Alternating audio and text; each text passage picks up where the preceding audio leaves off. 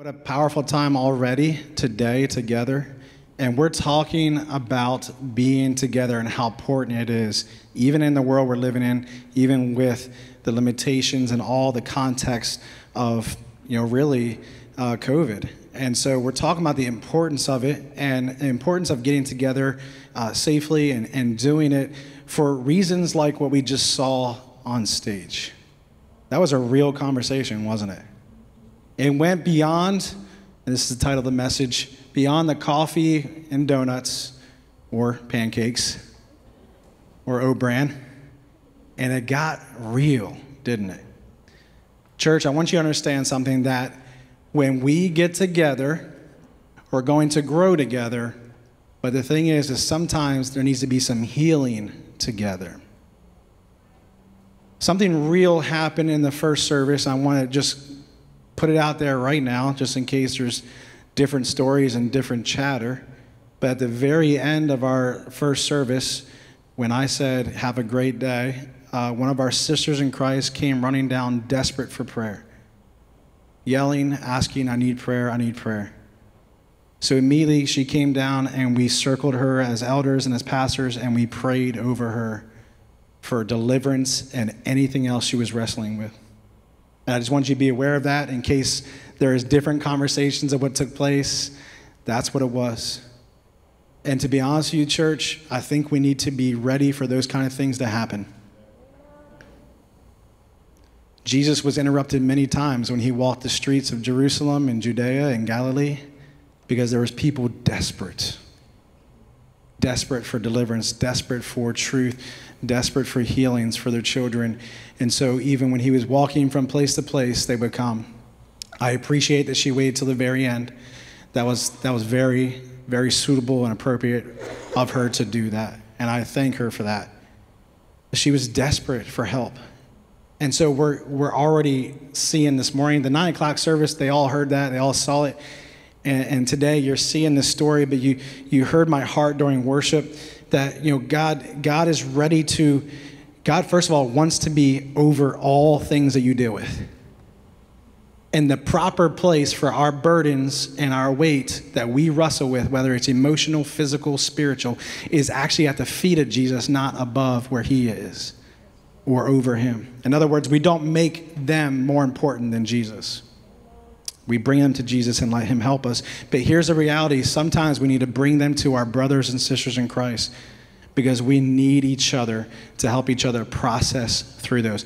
God has ordained that you live in fellowship. As we learned last week, we are the body of Christ, the family of God, and we live in fellowship. And sometimes when we do that, it gets real. And I want to make a note real quick, too, because sometimes our church may get the rumor that we're swinging from chandeliers. We don't have any. If we're excited about Jesus, it's because we recognize how much he's done for us. Amen?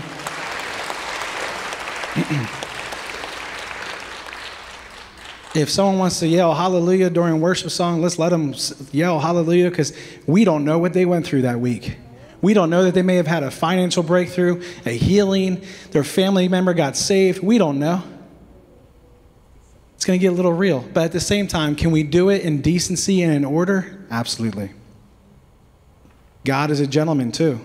And during the first service, when it became quiet, God gave one of our brothers in Christ a word to speak in tongues. We believe in 1 Corinthians chapter 12. This is Paul, by the way, teaching this. So Paul taught as well the, the gift and the proper use of speaking in tongues, praying in tongues, but then interpretation of tongues. And God spoke to our church this morning. It was suitable, it was appropriate, it was done in decency and order, as Paul says it should be.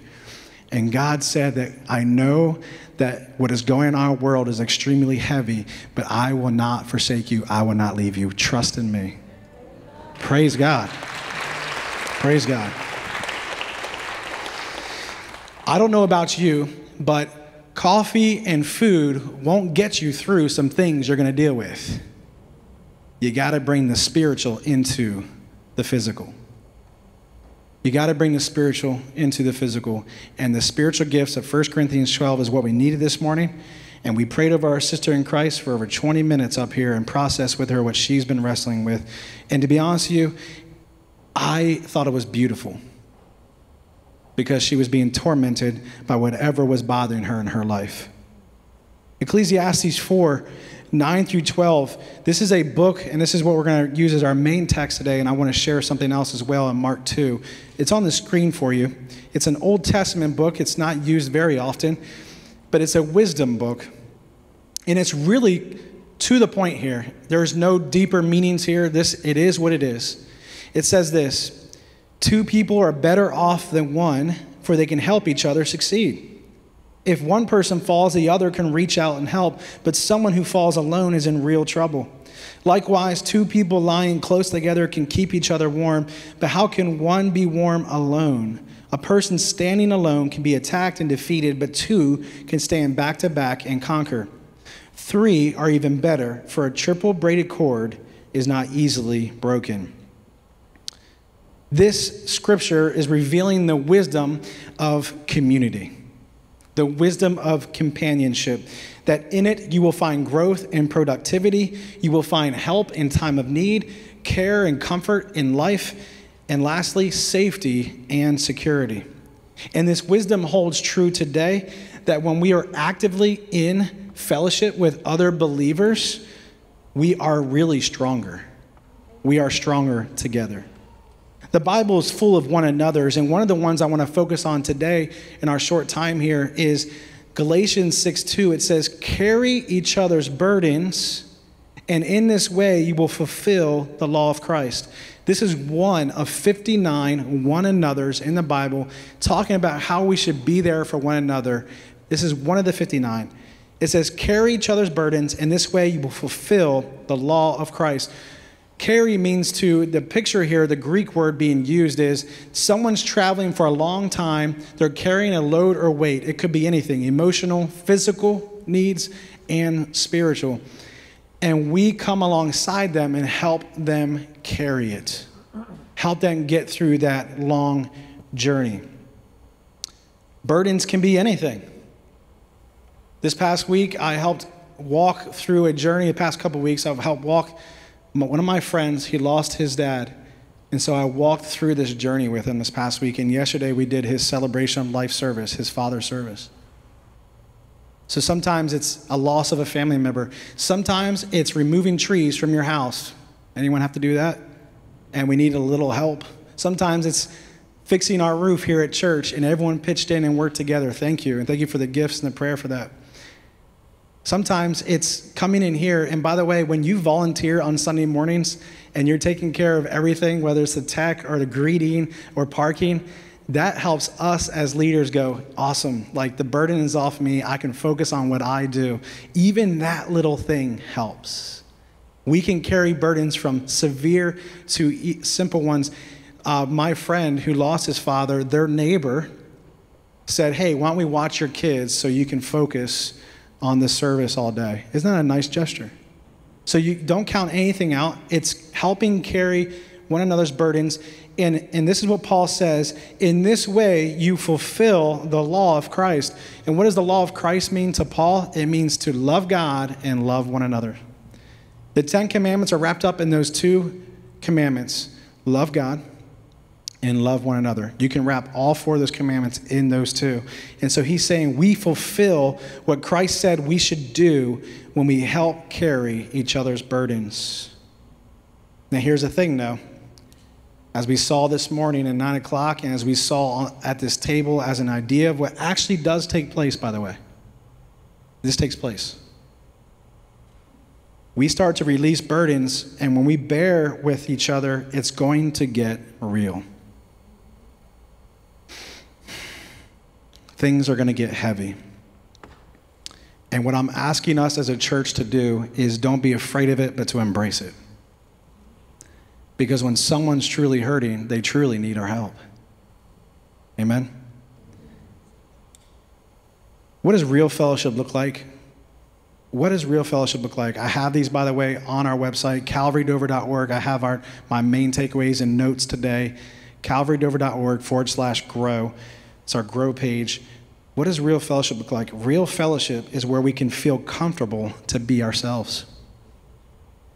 Where we feel comfortable to be ourselves. We hope that when you come in here and when you're in your community groups or you're with other believers in this church, that you can feel comfortable to be who God has made you to be. Your personality, your looks, whatever it may be, to be yourself. That's not a factor for us. What's a factor is we are one in the body of Christ. And we just love you because we love you. We don't have to love you, we want to love you as a family member.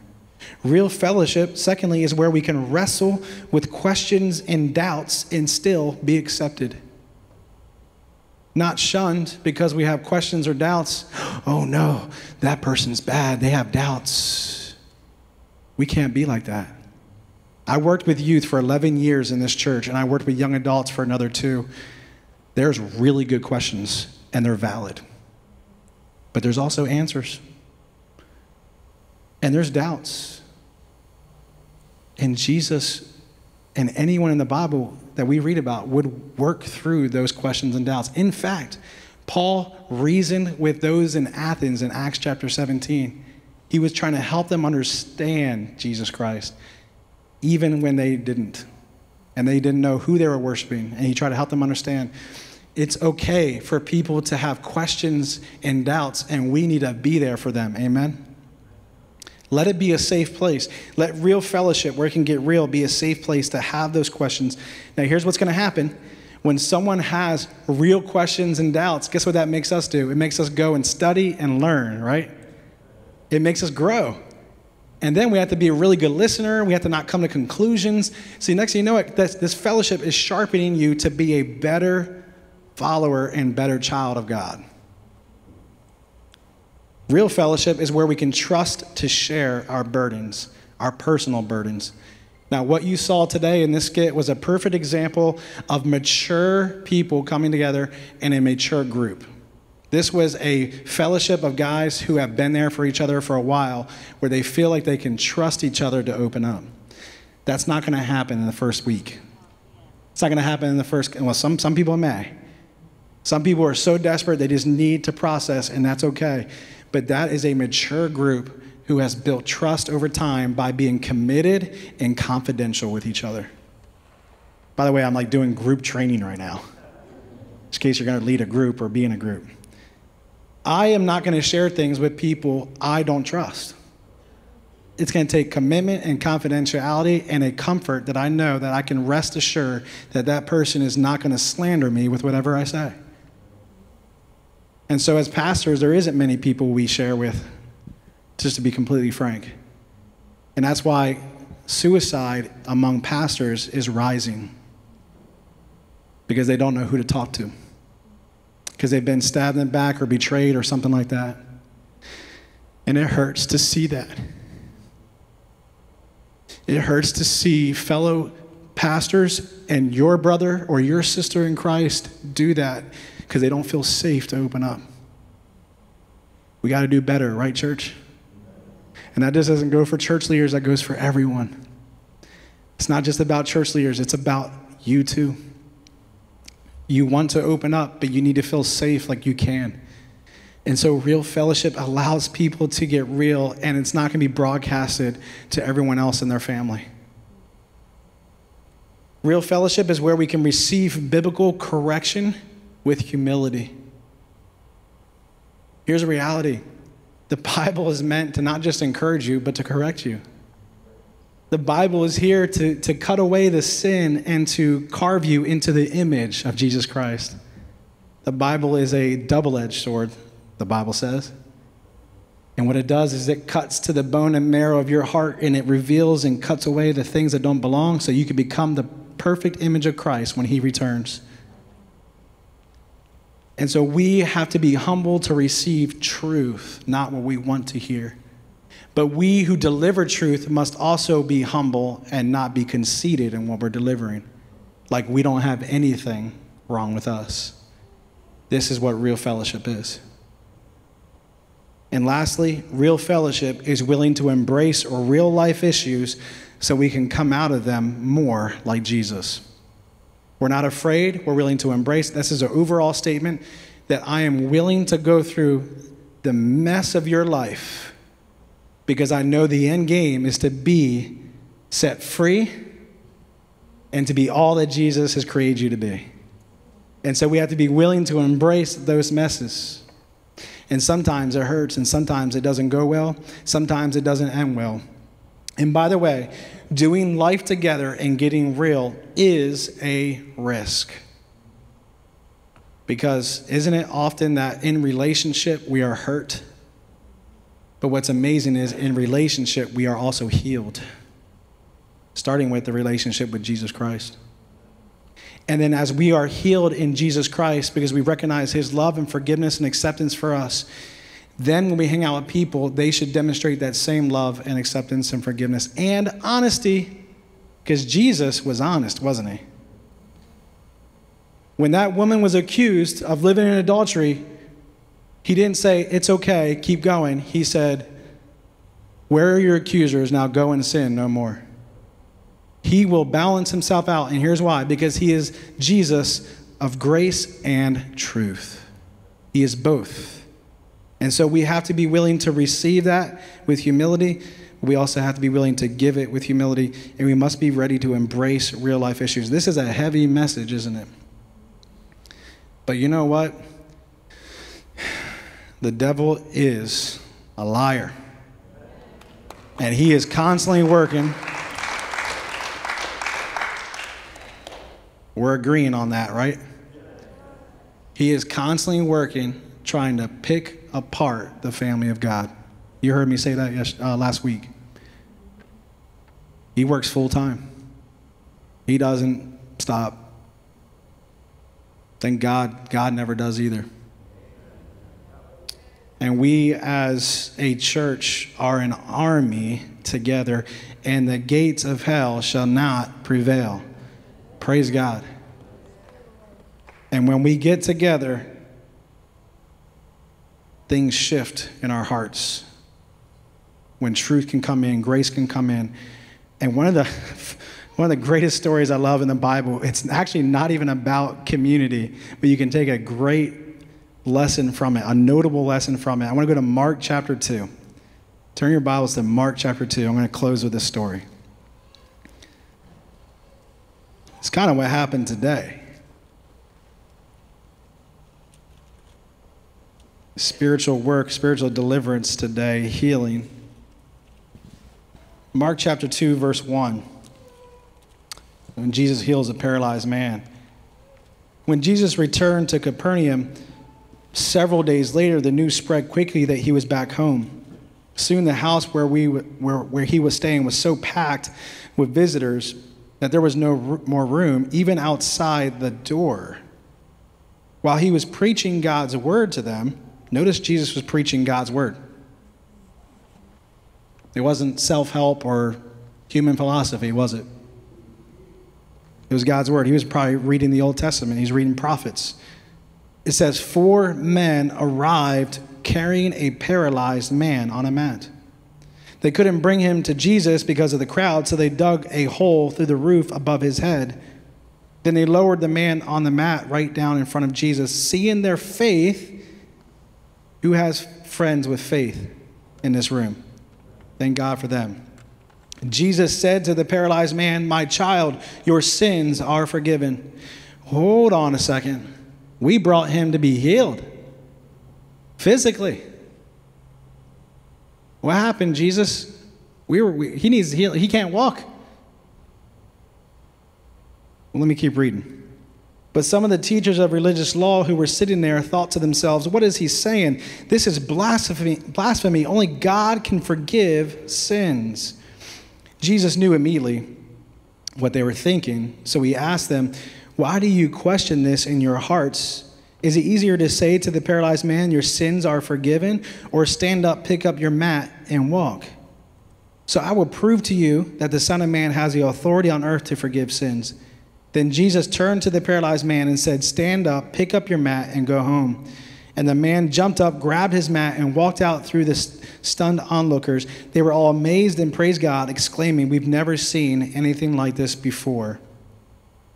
There's no doubt the point of this story is to highlight the authority and the divinity of Jesus Christ, that he is from God, he is God in the flesh. That is the point of this story. And the religious leaders thought it was blasphemy because they didn't believe that, but Jesus is who he is and he can't help it. And he's being who he's supposed to be. To prove his divinity, he did something physically because you can hide something spiritually. You know what I'm saying?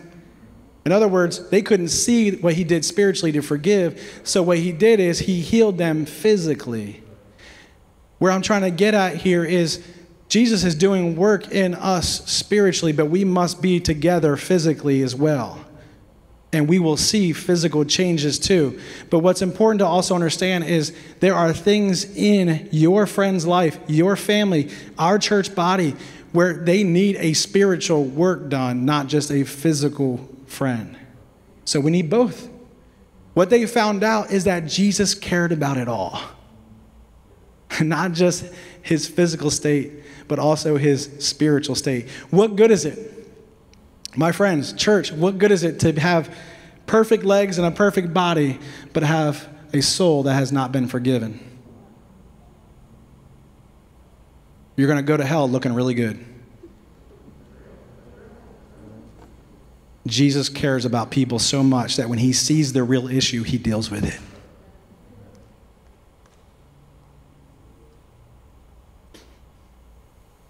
But here's the thing what if those four friends never brought him to Jesus? What if those four friends did not throw a mat together, throw him on that, and say, We know a person who's going to deliver you, and we're going to take him to you, to, to you to him. We're going to take you, and it's going to be awesome. They had that kind of faith. They weren't going to stop until they ripped that roof open and they lowered him down on that mat, and he was in front of Jesus at the feet of Jesus not above him, at the feet of Jesus, where we should lay our burdens and our worries right now at his feet. He's been trying to tell us this entire service, hasn't he? Who's on your mat? Because you have a responsibility, I have a responsibility to carry a mat, because we're the church, we're the body, the family of God. Who has carried your mat? Let's thank them. Amen? Like this week, I want to challenge us all, myself included, to thank those who carried us through difficult seasons. Thank God for them. Thank God that we have a family or friends or the body of Christ to help us. Even if they're not Christians and they've been there for you, acknowledge it and thank them. And then, church, I want to challenge you to seek out to have your eyes open, to have faith that if I get with this person and bring them to Jesus, and that means bring the word and pray for them around that coffee table, that Jesus is going to move and do work in someone spiritually and physically. Where Jesus is, transformation is going to happen. So I'm going to close with this carry one another to not only the grace of Jesus, but the truth of Jesus Christ. Getting together allows us to express and experience the love of God firsthand. And when we go through things together, we grow through them together. We need to get together. And we even have a home right now. If you have a home and there's someone living in that home, we need each other in that home. If you have friends or neighbors, they need us. If you have fellow brothers and sisters in Christ, they need you. And when we get together, healing and growth can happen, especially when we bring Jesus to the center of that conversation.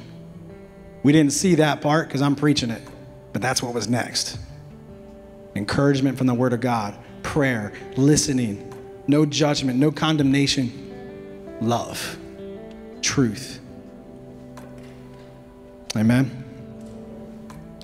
Let's pray. Why don't we stand together and pray?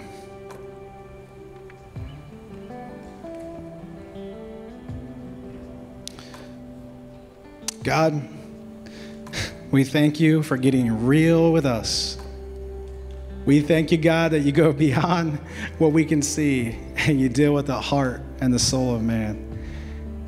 We thank you, God, for our salvation today. And if anyone does not know you as their Lord and Savior, I pray, God, that they would call out to you to be saved, that they would admit they need you, that they would repent of sin, they would turn away from sin, and that means to turn to you and rely on you for all they need.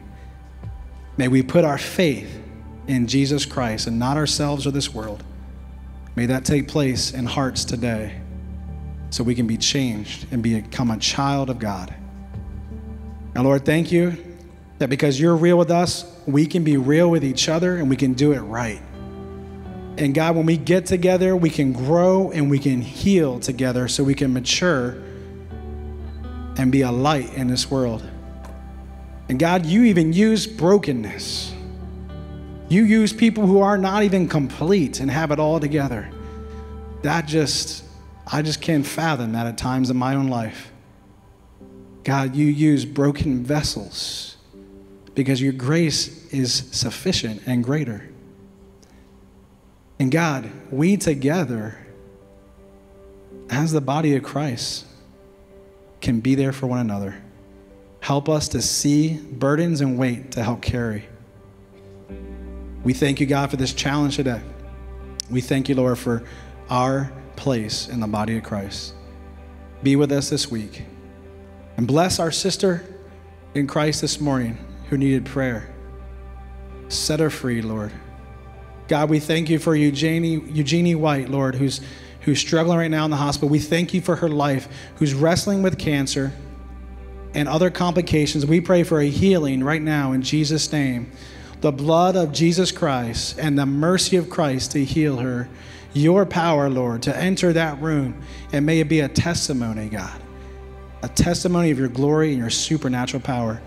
And Lord, we lift up Nate Warren, who lost his sister this weekend. God, strengthen the family, my friends, the Lewis family who lost their father. Strengthen both families who lost their loved ones this week. We are there for them, God. Help us to be there physically as well as as we pray spiritually. God, we thank you. Comfort them during this time.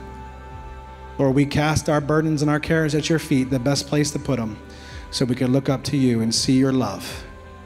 And the victory over this world is you. In Jesus' name, amen. Amen. God bless you, church. Have an amazing Sunday.